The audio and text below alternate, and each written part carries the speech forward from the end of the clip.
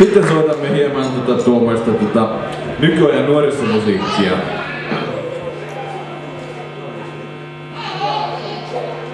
Niin sanottua todellista sukkahousu, ei nyt sanoisi heviä, mutta glam rockia.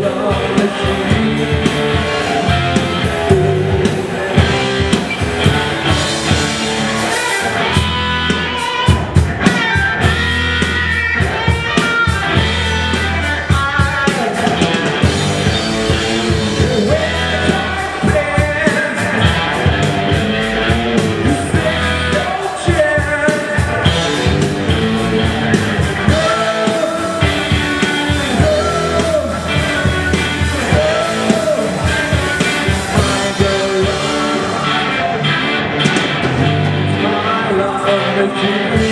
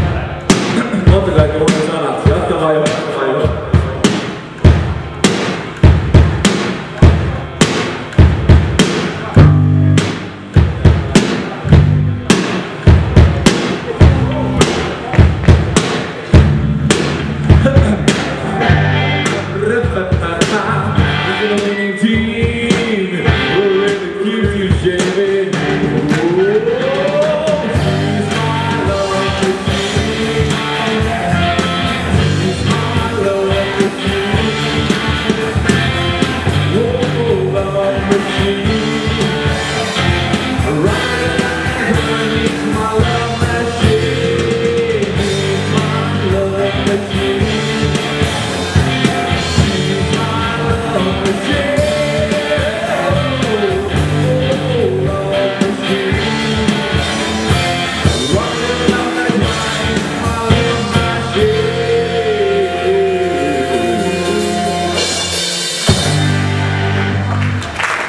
Huh, huh.